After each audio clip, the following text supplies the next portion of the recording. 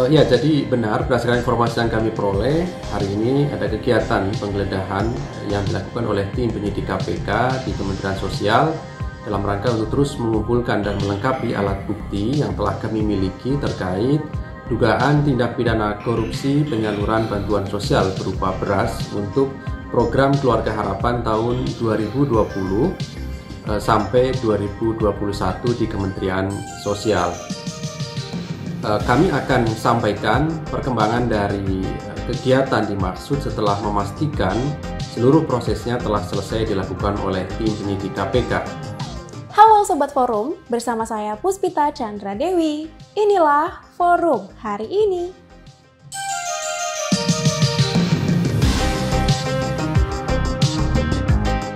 Sebelum kita masuk ke beritanya, jangan lupa like, subscribe, komen, dan nyalakan loncengnya. Sekarang, yuk kita ke beritanya.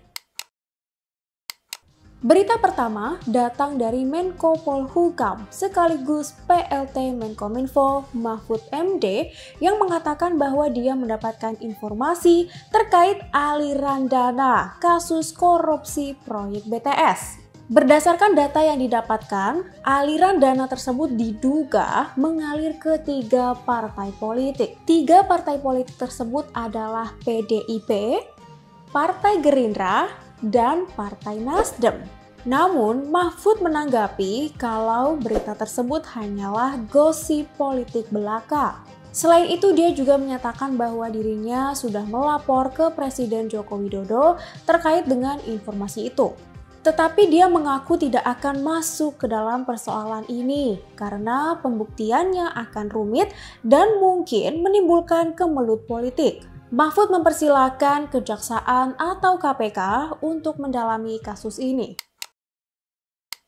Berita berikutnya datang dari kabar penggeledahan yang dilakukan di kantor Kementerian Sosial pada Selasa 23 Mei 2023 kemarin. Kepala Bagian Pemberitaan KPK, Ali Fikri, mengatakan pihaknya mengamankan sejumlah barang bukti saat melakukan penggeledahan itu.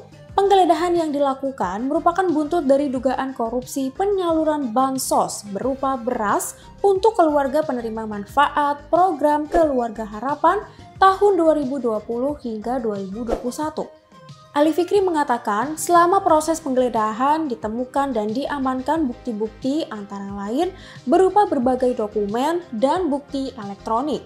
Barang bukti yang disita memiliki kaitan dengan perkara yang sedang didalami oleh KPK. Pihaknya pun akan segera melakukan analisis sekaligus penyitaan untuk melengkapi pemberkasan perkara. Anggota Majelis Syuro PKS, Sohibul Iman, mengungkapkan ada lima nama yang disodorkan kepada Anies untuk menjadi bakal cawapresnya. Sohibul Iman baru mengungkapkan tiga dari dua nama yang telah disodorkan kepada Anies.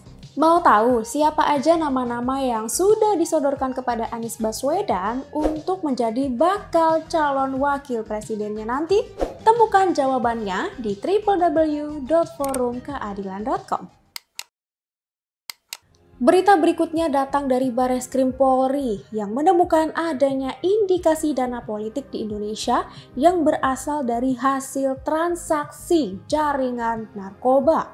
Uang tersebut diduga akan digunakan untuk pemilu 2024. Wakil Direktur Tindak Pidana Narkoba Bares Krim Polri, Kombes Jayadi, pada Rabu 24 Mei 2023 mengatakan ada indikasi keterlibatan jaringan narkotika dan dananya digunakan untuk kontestasi elektoral 2024. Menurutnya, polisi telah menemukan fakta bahwa sejumlah anggota dewan terlibat dalam jaringan peredaran narkoba tersebut. Namun, Jayadi enggan membeberkan sosok yang terlibat dalam jaringan itu.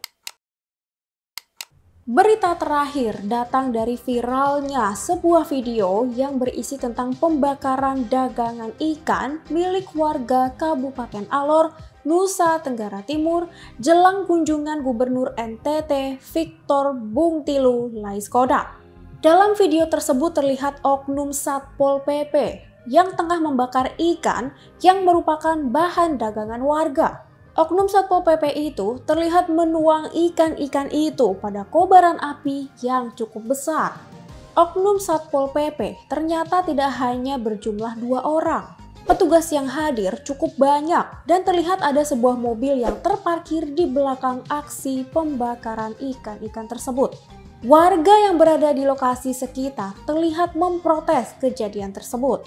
Namun, oknum Satpol PP tetap melanjutkan aksinya Terdengar salah seorang wanita mempertanyakan apakah para oknum Satpol PP itu tidak kasihan dengan para pedagang. Diketahui peristiwa itu terjadi ketika kunjungan kerja Gubernur NTT, Victor, di Kabupaten Alor untuk melakukan berbagai agenda, termasuk meresmikan gedung baru DPRD Kabupaten Alor. Demikian berita-berita yang dapat kami rangkum untuk forum hari ini, Rabu 24 Mei 2023. Untuk semua sobat forum, jangan sampai lupa terus update berita-berita terkini kalian di www.forumkeadilan.com. Saya Puspita Chandra Dewi, sampai jumpa.